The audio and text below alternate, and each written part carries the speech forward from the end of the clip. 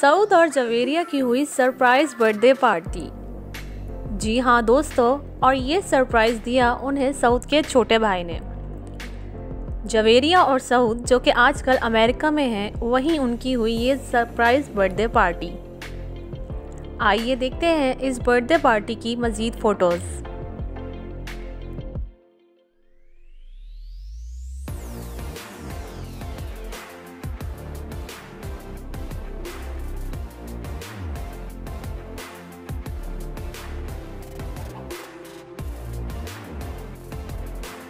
ये birthday party एक hall में अरेंज की गई और इस हॉल को बहुत ही खूबसूरत तरीके से डेकोरेट करवाया गया।